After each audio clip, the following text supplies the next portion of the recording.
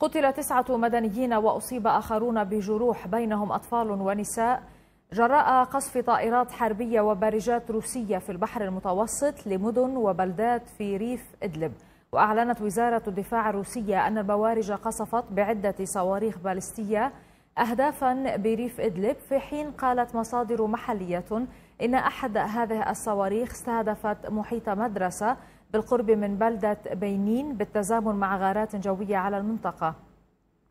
هذا وأعلن مركز الدفاع المدني في خان شيخون خروج المركز عن الخدمة بسبب الغارات الجوية التي استهدفته خلال الأيام الثلاثة الماضية.